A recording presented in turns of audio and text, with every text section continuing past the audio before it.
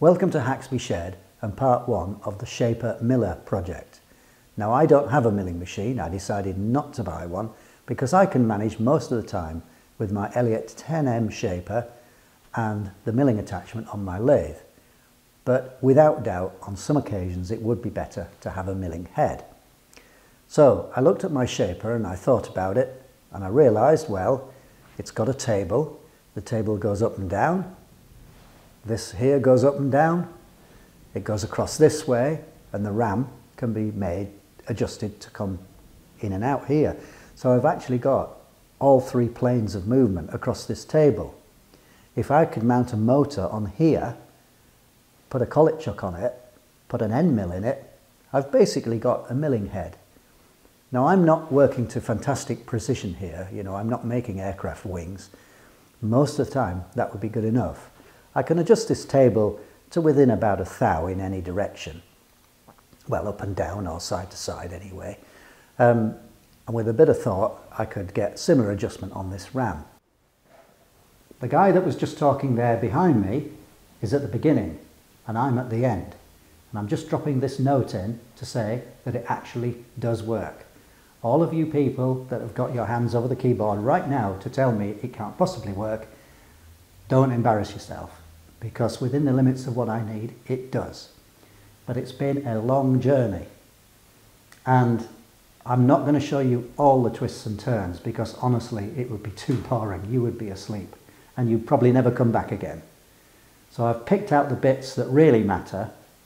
I've had to improve the design many, many times. Now remember, this is only for jobs where I cannot use the shaper. So it's just to go into pockets and blind ends and things like that. I've tried it on steel and brass. Within the limits of what I need, it actually works pretty well. I'll show you a couple of samples and then I'll go back to the guy behind me um, to kick us off for the series. This is just to give you some reassurance that it does actually work. This was on brass obviously and here's on steel. So I decided first of all to look for a motor I usually would buy something second-hand and make it fit, but I decided this time to shell out and, and pay for one. I paid about £100 for a motor. It comes with a 3D model. I've done a bit of work on Fusion 360 um, and I'll show you that. We'll go to the computer and I'll show you that. Um, I need to buy some metal for a bracket. I need to buy the collet chuck um, and a few other things. But basically, one way or another, I'm going to get this working. I don't know yet how I'm going to adjust the RAM in or out in this dimension. The plan is it would be fixed. Clearly the RAM can't go backwards and forwards. Um, that would be just working like a shaper, wouldn't it? It's going to be an interesting experiment. I hope to get a lot of capability for about £150. If I was going to buy a miller, well that's somewhere between £1,000 and £2,000, even for a smaller one, and that may or may not come with tooling and then there's a space for it and so on. So, I hope you enjoy the series. Let's get on with it. When I started to think about the size of motor that I needed, I had to think about the power, but I also had to think about the physical size. So I started with CAD, cardboard aided design, and this is a model of a 375 watt motor. And this one is a model of a 550 watt motor. And the two spindle sizes that you can see there all right it's a bit of a joke but they are actually representative. So for this 375 watt motor that was an 11 millimeter spindle. And for this motor 550 watts it was a 14 millimeter spindle. So I decided actually 14 was the smallest diameter that I could work with really. So although this is a bit of comedy, it actually helped me quite a lot in deciding what physical size of motor that I needed to go for, irrespective of, of the power that I need. So here we're looking at the Fusion 360 workspace and I've downloaded the model for the motor and we can turn various bits on and off if we want to like this and then we can swivel it around in any direction and so on. So that's my starting point. So the next thing I need to do is to make a model for my shaper. Then I can put this on, which is to scale. I can put this on and see what sort of, um, how it will look and what the clearances are. And uh, you get the idea. Not strictly essential, to be honest. Normally I would have done my diagrams in Visio in 2D, but I'd been on the ARW chat with Harold and we'd spent an hour talking about 3D modeling and it looked pretty interesting to me, so I thought that I'd have a go. Now, I'm not going to attempt to show you how to use Fusion 360. Uh, my friend DJ from Foxberg's Fabercobbling is going to be running a mini series on that, but I'll show you how I used it. So here's my shaper model. It took me quite a bit of work to get this because this was the first time I'd ever used Fusion 360. I was really pleased with the table. And I've made the other components to go on it. So let's hope I click the right things in the right order. There's the motor. That's the same model that I've just imported. Well, of course, the motor needs a bracket. So there's the bracket. And we need a chuck. So there's the chuck. And I won't go into the detail, but you can measure all these distances. So if we swivel that around, I think it looks quite nice. Just a bit of Fusion 360.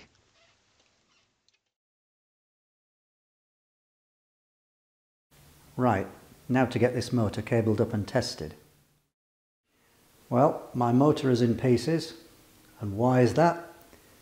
Because as it spins, I can hear something grunging inside. And then when I look at it, I find lots of aluminium bits. Not good. Can you see all those bits?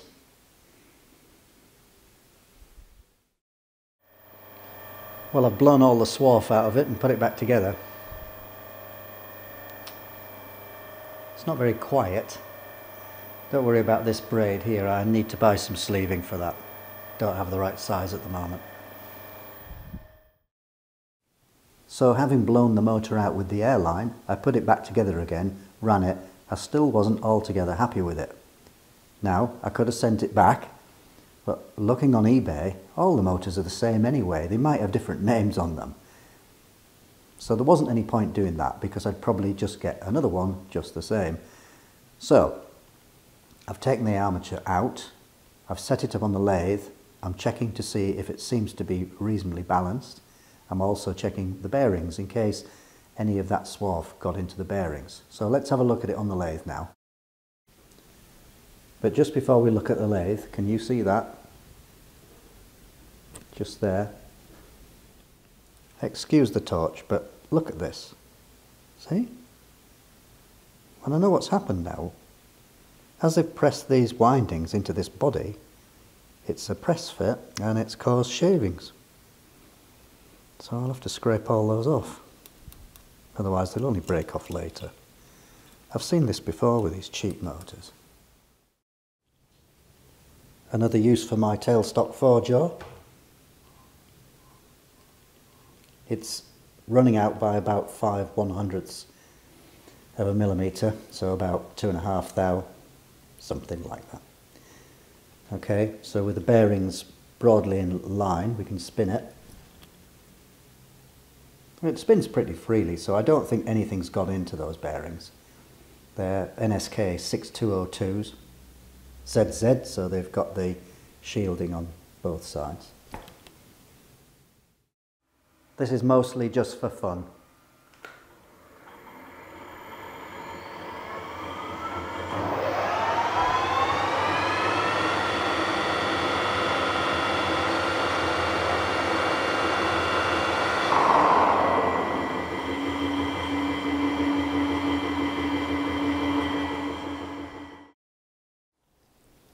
Although this doesn't seem to be heavier in one spot, I thought I'd just have a look and see if it was concentric.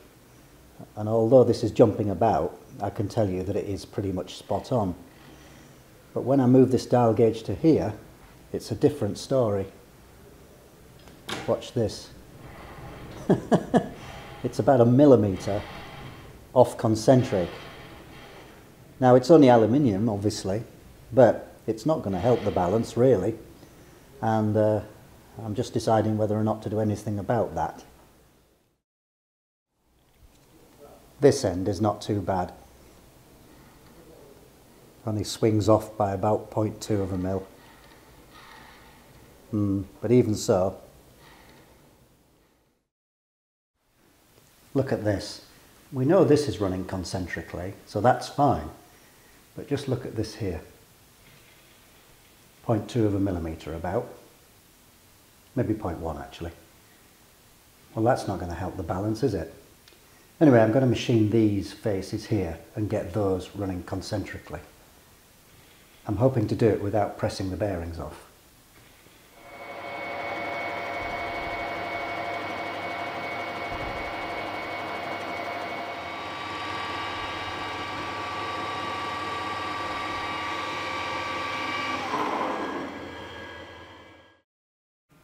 I did have to take the bearings off. I've machined this outer. I've machined this inner ring here, if you can see it, there. And honestly, these were at least a millimetre out of true. I'm going to finish by just machining a bit off here, about 0.2 millimetres. This is fine and concentric with this, and the same for the bearing at the other end. It's just Am I wasting my time? I probably am. But I'm doing it. That's all I can say. Let's get it back together and see if it makes any difference whatsoever.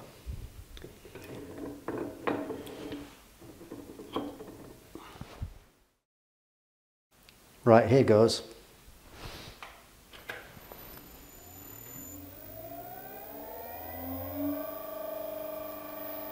Well, Believe me or not, but that motor is a lot quieter and there's a lot less vibration. It feels pretty smooth now.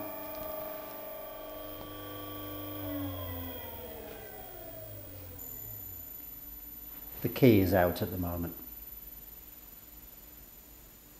Yep, I'm a lot happier with that now. I just need to put a remanufactured label on it and we can move on. It's time to mark out for this motor bracket.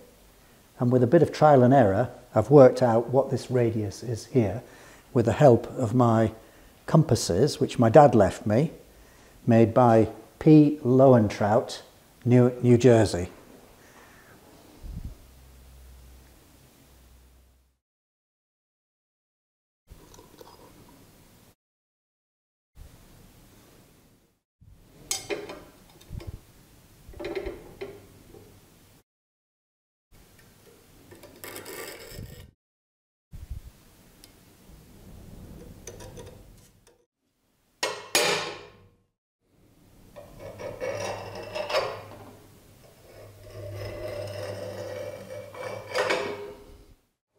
Now for the motor end. So there'll be a hole in there and then a curved end.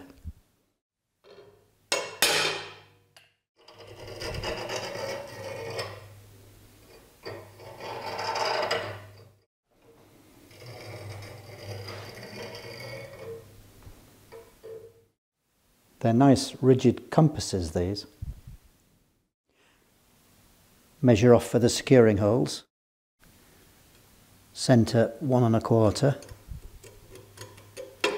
and four and a quarter. There we go, should be three between them, which there is.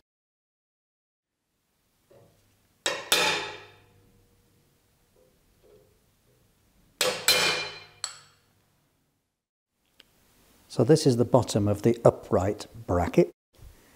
The bottom securing screw will go about there. This is going to be the motor bracket that sticks out here and it's got to fix on above this screw and a bit because I've got to allow for a fillet weld. So probably it'll cross about there I would think. Now I've got to allow for the thickness of the plate, which is 8 millimeters.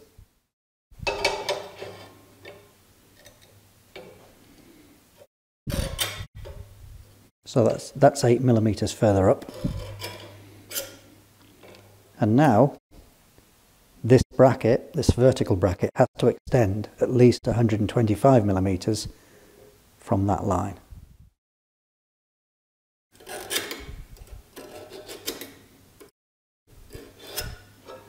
Okay, so that can be cut there.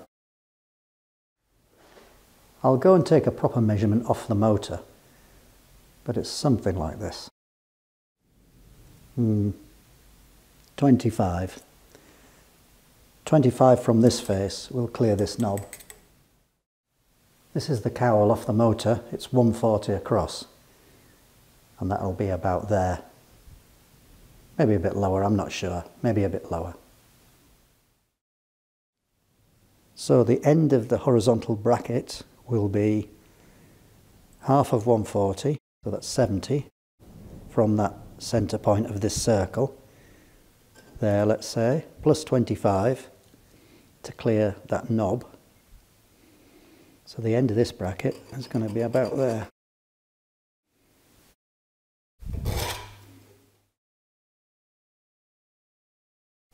So there's the end. Hold on, schoolboy error alert. 70 plus 25 minus 8 because this vertical bracket's 8 thick. Nearly did it, didn't I? There we go. How we're going to machine this hole out. I don't like hole saws. We'll put it on the lathe, put that in the four jaw. I think it'll fit. Let's have a look.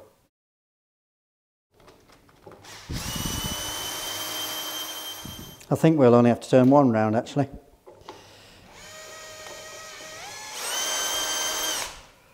And bring these out a bit. Oops.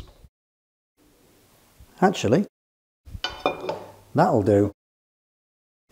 So I'll get this cut now. I really like this chuck, it's a brute.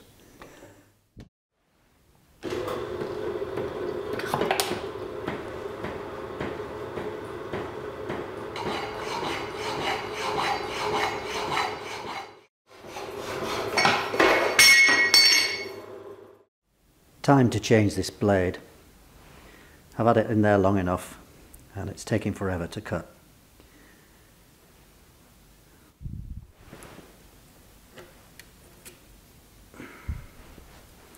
I've put a couple of spacers into this blade here. There's one there and there's one there and it just gets it vertically aligned because it was inclined to cut a bit off like that.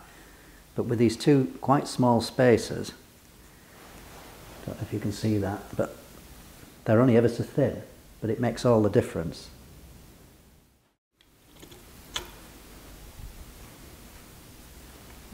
Okay. Tighten this end up. And then tighten this up, this Allen screw. And it cuts on the forward stroke. I see many people ask that question. It cuts on the forward stroke. I haven't done much machining in a while, so it's quite nice to be doing this.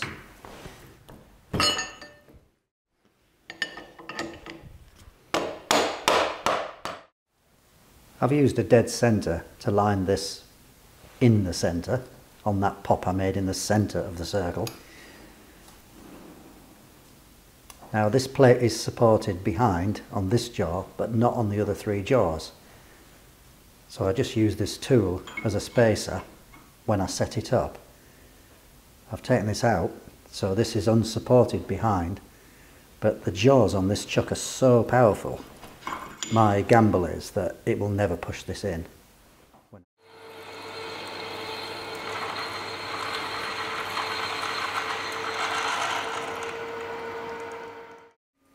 1 and 132 on about 215 RPM.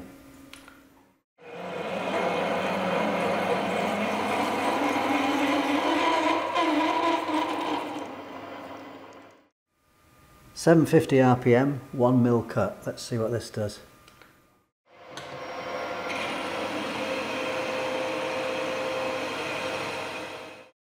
It's not chipping so well. Now what do they say? Less speed, more feed. Uh, let's try that.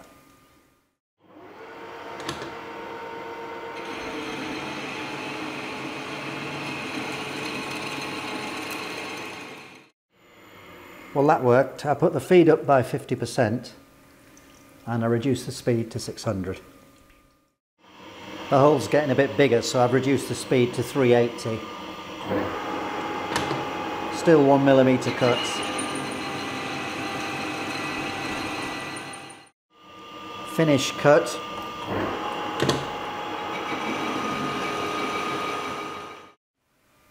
I must set up a spray coolant system one of these days. I'll just chamfer this while I've got the opportunity.